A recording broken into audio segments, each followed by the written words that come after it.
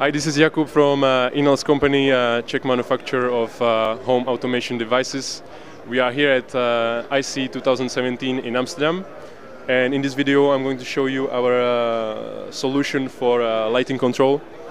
Uh, what this system allows you is to control different devices that are used in lighting control, such as DALI ballasts or DMX devices what we have over here is a gateway that allows you to uh, control these, uh, these ballasts uh, with our system.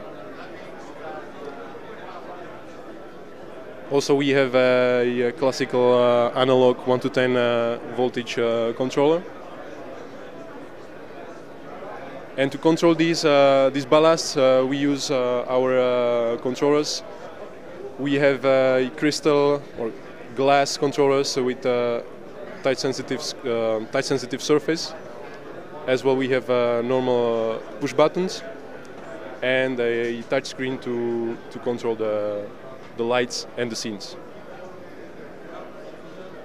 So that was a quick overview of our uh, lighting control solution. If you want to know more about uh, our products, please visit www.inels.com. Thank you.